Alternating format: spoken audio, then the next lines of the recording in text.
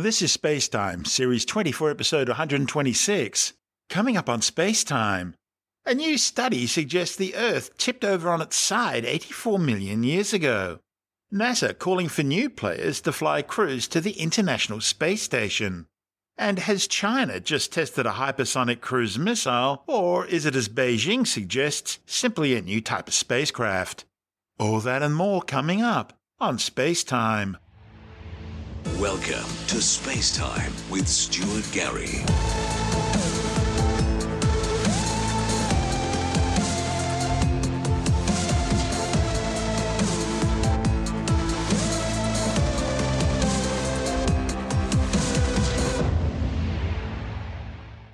A new study suggests that the Earth may have tipped over on its side 84 million years ago. The phenomenon, known as true polar wander, tilts planets relative to their spin axis, causing the geographic locations of the North and South Pole to change or wander. It happens because the mass distribution of the Earth isn't spherically symmetric, and the Earth has three different moments of inertia dominated by the spin axis. So, what are we talking about? Well, the Earth consists of a solid metallic inner core, surrounded by a liquid metallic outer core, and that's encased in a mostly solid mantle with a thin crust on the surface. The entire planet spins once every day like a top on its axis through its solid inner core. But because the outer core is liquid, the surrounding mantle and crust can literally slip and slide all around the place, dominated by the location of the most amount of mass and density and that would normally be subducting oceanic plates and massive volcanoes, which preferentially hang around 90 degrees to the spin axis, in other words, around the equator. And of course, weather and water movements can also induce small changes. But scientists aren't sure how often true polar wander happened to planet Earth. Now, a new study reported in the journal Nature Communications suggests the planet underwent true polar wander around 84 million years ago, the findings are based on bacteria fossils in limestone samples in central Italy's Apennine Mountains, dating back to the late Cretaceous between 100 million and 65 million years ago. These bacteria contain tiny magnetite crystals and they form chains aligned to the planet's magnetic fields, thus providing a record of the planet's orientation. The researchers found a 12 degree southwards tilt in the Italian rocks, and thus the Earth itself, around 84 million years ago, which apparently corrected itself within about 5 million years. The findings paint a new picture of just how ephemeral the relationship is between the Earth's spin axis and its moments of inertia. This is space time. Still to come. NASA's calling for new players to fly crew to the International Space Station. And China is denying persistent reports that it's just tested a new hypersonic cruise missile, claiming instead the test involved a new type of reusable spacecraft. All that and more still to come on Space Time.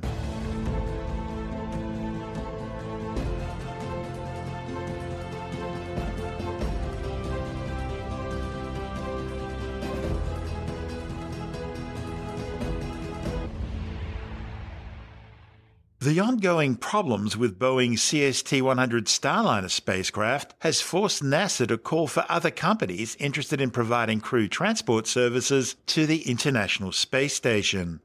Boeing and SpaceX won the original multi-million dollar contracts under NASA's Commercial Crew Program to fly an initial 12 missions carrying crew to and from the orbiting outpost. But while the SpaceX Dragon has performed well moving crew and cargo between Earth and the space station, Boeing suffered a string of problems with its Starliner, including parachute issues, software malfunctions, and propulsion system issues. In fact, Starliner is now four years behind schedule. SpaceX's Dragon, together with Northrop Grumman's Cygnus supply ships, are also transporting cargo to the space station under a separate contract and they'll soon be joined by Sierra Nevada's Dream Chaser spaceplane, which will also fly cargo to the space station from next year using a cargo module called Shooting Star. Dream Chaser is a lifting body design. It'll launch aboard a United Launch Alliance Vulcan Centaur rocket, which will be replacing the current Atlas and Delta rockets from next year. And like SpaceX's Dragon cargo ship, Dream Chaser was originally designed to be human rated in order to carry crew into orbit and so there are better than even odds that Sierra Nevada will be applying for the new contract. This is Space Time. Still to come, China is denying persistent reports that it's just tested a new hypersonic cruise missile, claiming instead the test involved a new reusable spacecraft. And the Andromeda Galaxy, the first exoplanet 51 Pegasi b, and the Orionids, Taurids, and Leonids meteor showers are among the highlights we'll be discussing in November Skywatch.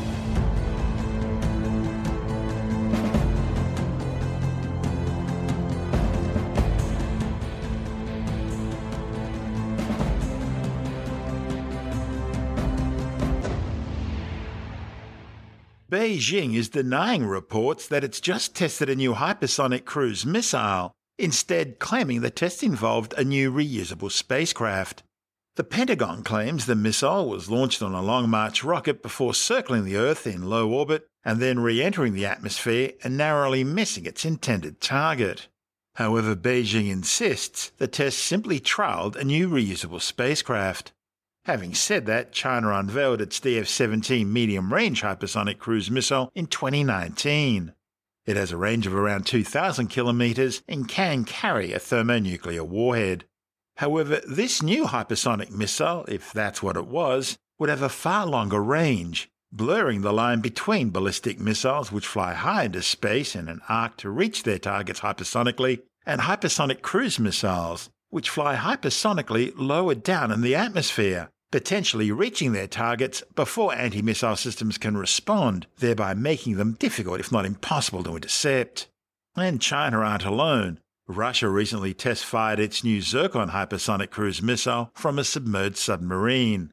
And Moscow has also been deploying its new nuclear capable Avangard hypersonic missiles into active duty.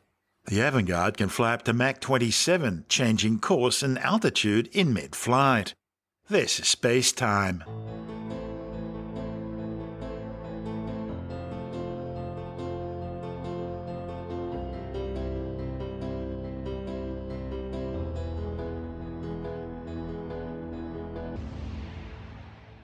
Time now to turn our eyes to the skies and check out the celestial sphere for November on Skywatch.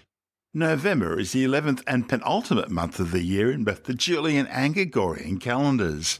It retained its name from the Latin Novem meaning nine when January and February were added to the Roman calendar. High in the northern skies of November, you'll find the constellation Pegasus, the Mesopotamian Etruscan mythological winged horse who was born from the blood of Medusa the Gorgon after she was slain by Perseus. The brightest star in Pegasus is the orange supergiant Epsilon Pegasi, located some 690 light years away. A light year is about 10 trillion kilometres, the distance a photon can travel in a year at the speed of light, which is about 300,000 kilometres per second in a vacuum and the ultimate speed limit of the universe. Astronomers describe stars in terms of spectral types, a classification system based on temperature and characteristics. The hottest, most massive, and most luminous stars are known as spectral type O blue stars. They're followed by spectral type B blue white stars, then spectral type A white stars, spectral type F whitish yellow stars, spectral type G yellow stars, that's where our sun fits in, spectral type K orange stars, and the coolest and least massive stars of all are the spectral type M red stars. Each spectral classification is further subdivided using a numeric digit to represent temperature, with 0 being the hottest and 9 the coolest. And then a Roman numeral is added to the end of all that to represent luminosity. Now, put all that together, and a star like our Sun is known as a spectral type G2V or G25 yellow dwarf star. Also included in the stellar classification system are spectral types LT and Y, which are assigned to failed stars known as brown dwarfs, some of which were born as spectral type M red stars, but became brown dwarfs after losing some of their mass. Brown dwarfs fit into a category between the largest planets, which are about 13 times the mass of Jupiter, and the smallest spectral type M red dwarf stars, which are about 75 to 80 times the mass of Jupiter, or about 0.08 solar masses. As for Epsilon Pegasi, well, it's estimated to have about 12 times the mass of our Sun and about 185 times the Sun's radius. Epsilon Pegasi, together with the stars Markab, Algenib, Scheat, and Alpha Andromedae, form the asterism or pattern of stars known as the Great Square of Pegasus, a bunch of bright naked eye stars shaped like a huge square in the sky. One of the stars in the constellation is 51 Pegasi, which was the first main sequence star beyond our Sun to be discovered to host a planet. 51 Pegasi is a Sun-like star located 50.45 light-years away. Its planet, or more accurately exoplanet, meaning extrasolar planet, is designated 51 Pegasi b. The exoplanet's discovery was announced on October 6, 1995 in the journal Nature. It was detected using the radial velocity or so-called wobble method with a spectroscope used to detect very slight but regular Doppler shift changes in the star's spectral lines caused by the gravitational pull of the planet pulling the star one way and then the other as the planet orbits around it. 51 Pegasi b is about half the mass of Jupiter and orbits around its host star every four Earth days at a distance of just 7 million kilometers.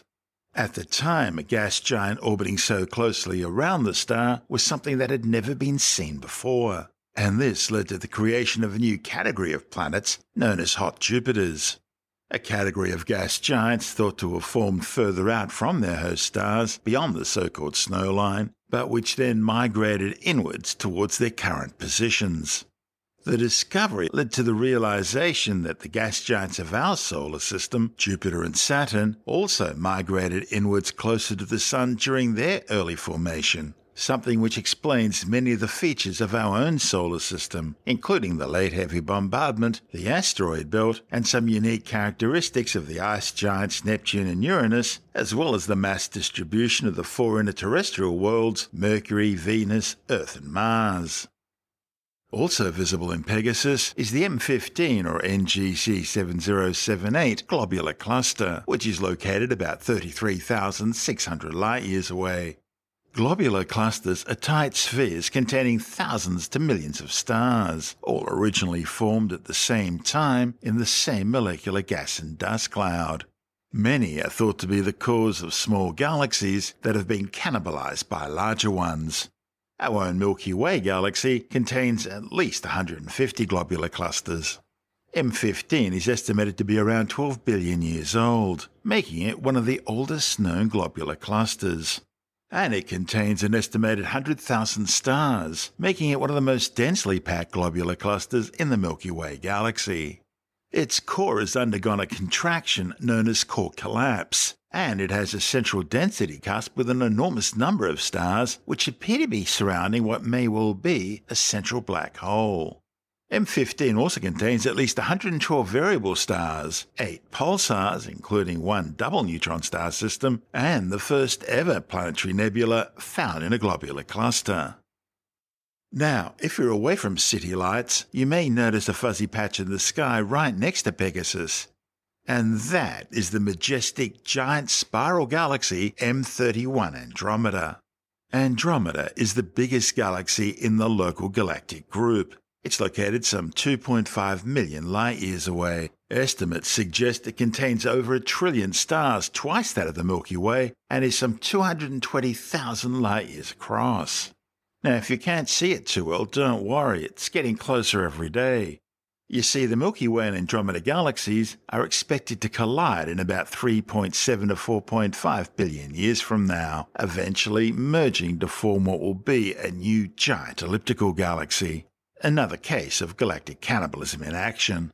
Now, based on current estimates, Andromeda appears to have more older stars than the Milky Way, it also appears to have far less new star production than the Milky Way, the Milky Way producing about one new solar mass star every year. And the rate of supernovae in the Milky Way is also about double the rate of Andromeda. Andromeda is surrounded by a large and massive halo of hot gas, estimated to contain about half the mass of the stars in the galaxy. This nearly invisible halo stretches about a million light years from its host galaxy, that means it reaches almost halfway out to the Milky Way. Now, using a good pair of binoculars or a small backyard telescope, you'll even get to see the dust lanes in Andromeda's spiral arms and its bright central galactic core, which contains a monster supermassive black hole. Now, located slightly to the east and south of Pegasus, you'll see the ancient constellation of Cetus, the great whale sea monster. Beta Ceti or Deneb is the brightest star in the constellation Cetus. It's an orange giant located about 96 light years away. By the way, that name Deneb well, it means the whale's tail. One of the other stars in Cetus is Mira, the first variable star ever discovered. Located some 420 light years away, Mira pulsates in brightness over a period of 332 Earth days, changing in diameter from about 400 to 500 times the diameter of the Sun. Alpha Ceti, traditionally called Menkar the Nose, is a red-hued giant star some 220 light years away. Now, it's actually a double star system, with the secondary star 93 Ceti being a blue-white star some 440 light years away. Another double star is Gamma Ceti, the head of the whale. The primary is a yellow star 82 light years from Earth, while the secondary is a blue star. At 11.9 light years away, the yellow dwarf Tau Ceti is the nearest sun-like star to the Earth other than the Sun. Okay, looking south of Cetus now, and you'll see the brilliant star Achernar, which means the river's end, as it marks the end of the river Eridanus. Eridanus is the sixth largest of the modern constellations, and the one that extends furthest in the sky from north to south. Achernar is a binary system, and the primary star Alpha Eridani actually consists of two stars, Alpha Eridani A and B, located some 139 light years away. Of the ten brightest stars in the night sky, Alpha Eridani is the hottest and bluest in colour. That's due to Achernar being a spectral type B blue main sequence star. Achernar also has an unusually rapid rotational velocity, causing it to become oblate in shape. The second star in the system is a smaller spectral type A white star, which orbits the primary at a distance of about 12 astronomical units. An astronomical unit is the average distance between the Earth and the Sun, about 150 million kilometres or just over 8 light minutes. Now, if you follow Eridanus towards the east, you'll find the constellation Orion, a familiar signpost in the southern summer and northern winter skies. To the west of Orion is the constellation Taurus the Bull, and located in Taurus is M1, the Crab Nebula. It's the remnant of a star which Chinese astronomers saw explode as a supernova back on the 4th of July in the year 1054. They recorded the sudden appearance of a new star on their sky charts at exactly the position of the Crab Nebula. Their records show the supernova appeared brighter than the planet Venus for weeks on end, before finally fading from view after about two years. The shock wave from the Crab Nebula's supernova explosion is continuing to blast outwards, expanding at a rate of about 5 million kilometers per hour. At the heart of the nebula is a rapidly spinning neutron star, a pulsar, rotating at some 30 pulses per second. As it rotates, it shines a beam like a lighthouse beacon sweeping across the galaxy. This beam emits radiation at all wavelengths from gamma rays and X rays right through ultraviolet, optical, and infrared, even into the radio waves. Observations indicate the pulsar is slowing down and will fall to just half its current rotational rate in the next thousand years. November is also a great time to check out the Pleiades or Seven Sisters, one of the nearest open star clusters to Earth. Also known as M45, the Pleiades are located in the constellation Taurus the Bull and are composed mostly of hot blue white stars. Now, depending on whose measurements you prefer, the Pleiades are somewhere between 118 and 137 parsecs away, a parsec being around 3.26 light years. The amazing thing about the Pleiades is that different cultures from vastly different parts of Earth have all described the Pleiades in the same way, as seven women or seven sisters. And this could possibly be some sort of ancient throwback to early human out of Africa civilization. Just like October, November sees three meteor showers. There's the November Orionids, the Taurids, and the Leonids. Although peaking in late October, the Orionids are continuing to sprinkle down during the start of November, and are usually at their best during the wee small hours before dawn. They're generated by the debris trail left behind by the comet Halley and appear to radiate out from the direction of the constellation Orion the Hunter. The Taurids meteor shower are generated by the comet Encke, and as their name suggests, they appear to radiate out from the constellation Taurus the Bull. Encke and the Taurids are believed to be the remnants of a large comet which disintegrated between 20 and 30,000 years ago, breaking into several pieces and releasing material both by normal cometary ablation and also occasionally by close gravitational encounters with the Earth and other planets. In fact, the cometary stream of material left by Encke is the largest in the inner solar system. Being so spread out, the Earth takes several weeks to pass through it, causing an extended period of meteor activity compared to the much smaller periods of activity of other meteor showers. And further gravitational interactions with Jupiter have caused the Taurids to be segmented into separate northern and southern streams. The southern Taurids usually last from around September the 25th to November the 25th, while the northern Taurids go from October the 12th to December the 2nd. But the Taurids do have their downside. They're quite diffuse, usually only producing about 7 meteors an hour. However, they are composed of more massive material. Think of pebbles instead of dust grains. And so they tend to produce a high percentage of very bright meteors known as fireballs, produced as larger meteoroids burn through the atmosphere. The southern Taurids put on their best show just after midnight on November the 5th. Finally, there's the Leonids meteor shower, which will peak on November the 18th. The Leonids are usually pretty reliable with 15 meteors an hour. However, they have been known to occasionally produce spectacular meteor storms, with showers in 1999, 2001, and 2002 producing an amazing 3,000 Leonids meteors an hour. Even more spectacular was the Leonids meteor shower of 1966, which generated thousands of meteors per minute falling like illuminated rain. The Leonids are usually picked up after midnight, with peaks occurring just before dawn. They're produced by the debris stream from the comet Tempel-Tuttle. And as their name suggests, the Leonids radiate out from the constellation Leo the Lion. The Leonids are a fast moving stream which encounters the path of Earth at 72 kilometers per second. Larger Leonids, which are about 10 millimeters across, can have a mass of half a gram and are renowned for generating bright meteors. Scientists estimate the annual Leonids meteor shower deposits between 12 and 13 tons of particles across the planet every year. And now, with a look at the rest of the November night skies on Skywatch, we're joined by Jonathan Nally, the editor of Australian Sky and Telescope magazine. G'day, Stuart. Well, summer's just about here for us in the southern hemisphere. Days are getting longer and, and brighter and everything. The weather's getting warmer. Winter, of course, is coming for our friends up there in the north, in the northern hemisphere. But for us, it's summer. We do have to contend with daylight saving, which sort of messes up um, stargazing a little bit for some people. Um, means it doesn't actually change what you can see, but it changes the, the time of day. So anyway, we can we can deal with that. But anyway, let's, let's see what's happening in the mid-evening sky in November from where we are. So if you go out there and have a look mid-evening, you'll see that the Milky Way is sort of hugging the horizon, in particular hugging the western horizon. So you need a clear sort of view out to the west, no trees and buildings and houses and things. And you'll see the tail of Scorpius, the constellation Scorpius, or some people call it Scorpio, just sticking up over the horizon. It's about to disappear from view. Scorpius is really a mid-year uh, constellation. That's when you get the best views of it. So now we're in the end of the year. It's The constellation Sagittarius is just next to Scorpius, so you can still see that for the moment above the western horizon.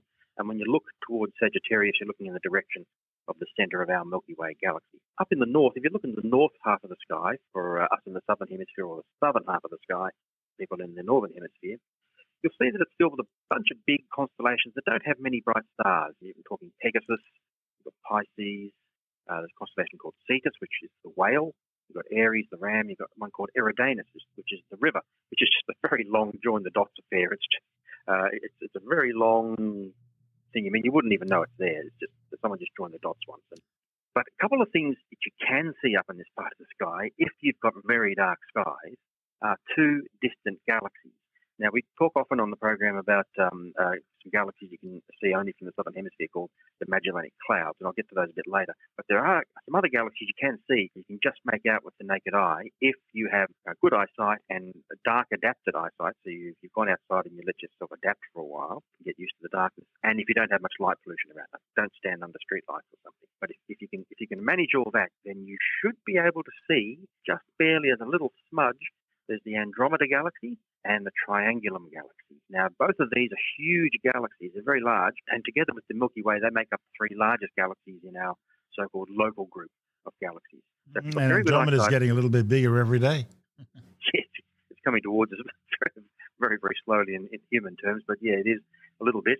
Um, you can just make out these two galaxies as they are tiny smudges. Now, this might not sound impressive, but, but these are essentially the two most distant objects that you can ever see with your eyes. Okay, stars are nearby in space terms. They're tens or hundreds or thousands of light years away. We're talking millions of light years away here. Now, of course, with, with a telescope, you can see much further than that, and with the big professional telescopes, they can see right back towards the you know, beginning of time, the the um, in the early days of the universe. But with just an unaided eye, these two galaxies are it. So if you get yourself a, a star map or an app of some kind, you can go out and try and spot these galaxies. I remember when I saw the Andromeda galaxy for the first time, I was really quite thrilled because Andromeda, back in the old days of science fiction, Andromeda was where all the nasty aliens used to come from. So it always had this sort of cachet about it, and I just thought it was fabulous to be able to go out and just see with my naked eyes, just a little smudge, thinking that is the furthest thing I, I can that anyone can see just with the unaided eye, and it's really quite amazing, I think, anyway. It's a bit like looking at Saturn for the first time through a telescope. You think, wow, there's actually this real planet. And when you think that it's, in the case of Saturn, hundreds of millions of kilometres away, um, it, it's, it's just amazing, I think. Anyway, give it a try, see if you can spot them. In the eastern part of the sky, we've got the constellation Orion poking its head over the horizon. We keep raving about this constellation all the time, and it's no lie, it really is impressive. So have a look at that one. Down in the south, in the southern hemisphere, we've got the Southern Cross. Now, you can't really see the Southern Cross at the moment for most people because it's where it is, uh, is is way down south and it's sort of below the horizon for a lot of people at this time of year, and it's upside down. And uh, if, if, you go really far south, you, you, should be able to see it just above the, the southern horizon. But for most people, you can't. On the other hand, if you're sky watching in the early hours of the morning, not the mid evening, but early in the morning, the Earth will have rotated and the Southern Cross will have come into view, and then you'll see it lying on its left hand side about a third of the way up from the uh, southern horizon. Now, to the planets, there are only three bright ones that we can see this month. As evening twilight comes on, you'll be able to see Venus high and bright in the west. I mean, you just can't miss it. It's the biggest, brightest thing once the sun goes down. It's really quite beautiful and spectacular. And at least for people, you know, around the latitude where I live, sort of Sydney way uh, in the southern hemisphere and, and thereabouts, Saturn and Jupiter are pretty much directly overhead uh, at the moment this month. So um, they're very easy to see as well. After Venus, Jupiter is the next brightest thing, and Saturn is just right next to Jupiter in space terms, a few degrees away, and uh, you shouldn't have any trouble seeing that one. Mercury one of the other planets you can normally see. It's lost in the solar glare this month because it's heading around the other side of the, uh, the sun from us, so uh, we can't see it. Mars has been around the other side of the sun for a while now, and uh, at least for the first three three weeks or so of November, you just won't be able to see it. It's still lost in the solar glare. Right towards the end of the month, if you're very lucky and you've got a good clear eastern horizon, then just before sunrise, you might be able to spot Mars as a tiny little red star-looking thing, just a few degrees above the uh, eastern horizon. Um, before the sky gets too light with sunrise. That's Jonathan Nally, the editor of Australian Sky and Telescope magazine. And don't forget, if you're having trouble getting your copy of Australian Sky and Telescope magazine from your usual retailer because of the current lockdown and travel restrictions, you can always get a print or digital subscription and have the magazine delivered directly to your letterbox or inbox. Subscribing's easy. Just go to skyandtelescope.com.au. That's skyandtelescope.com.au, and you'll never be left in the dark again.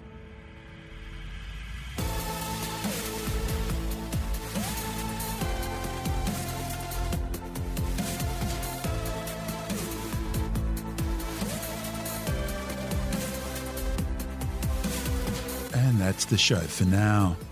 Spacetime is available every Monday, Wednesday, and Friday through Apple Podcasts, iTunes, Stitcher, Google Podcast, Pocket Casts, Spotify, Acast, Amazon Music, Bitesz.com, SoundCloud, YouTube, your favorite podcast download provider, and from spacetimewithstuartgary.com. Spacetime's also broadcast through the National Science Foundation on Science Zone Radio and on both iHeartRadio and TuneIn Radio. And you can help to support our show by visiting the Spacetime store for a range of promotional merchandising goodies. Or by becoming a Spacetime patron, which gives you access to triple episode commercial free versions of the show, as well as lots of bonus audio content which doesn't go to air, access to our exclusive Facebook group, and other rewards. Just go to spacetimewithstuartgary.com for full details. And if you want more space time, please check out our blog where you'll find all the stuff we couldn't fit in the show, as well as heaps of images, news stories, loads of videos, and things on the web I find interesting or amusing. Just go to spacetimewithstuartgary.tumblr.com. That's all one word, and that's Tumblr without the E. You can also follow us through at Stuart Gary on Twitter, at Spacetime with Stuart Gary on Instagram, through our Spacetime YouTube channel. And on Facebook, just go to facebook.com forward slash spacetime with Stuart Gary. And Spacetime is brought to you in collaboration with Australian Sky and Telescope magazine, your window on the universe. You've been listening to Space Time with Stuart Gary. This has been another quality podcast production from Bitesz.com.